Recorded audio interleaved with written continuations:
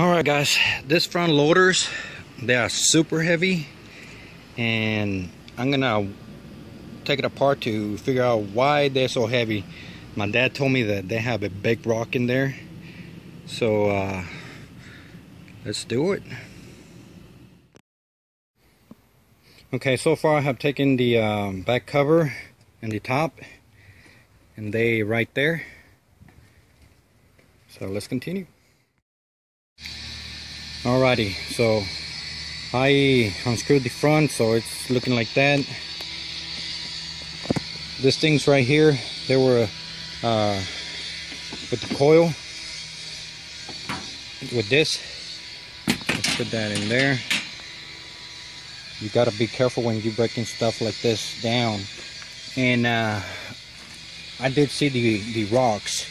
I'll show you in a little bit because uh, you can't see it from here. Alright guys, I think I'm done. I got carried away. I forgot to film.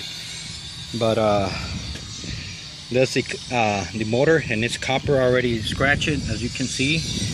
This one right here, here is gonna be a cast aluminum. This is just the shell. There's some wire in here and little board. As you can see in there. That's all the stuff that I got out from it. And this uh, more parts, a uh, bunch of plastic, a uh, bunch of uh, steel.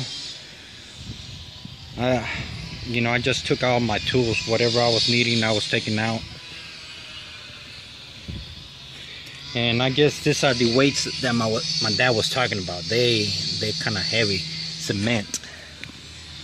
I just need to take that motor out and this wheel the uh, the barrel is stainless steel but when I put a magnet it's uh, sticking so I don't get it. If you know uh, leave comment below I'm just gonna sell as steel. Alright guys this is Jerry. Thanks for being here with me in another video. Like always subscribe comment like and share this video. You take care now